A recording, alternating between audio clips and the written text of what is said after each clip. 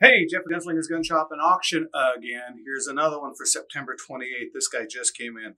Colt Woodsman, absolute 98% condition with original box. This is nice if it was only left-handed.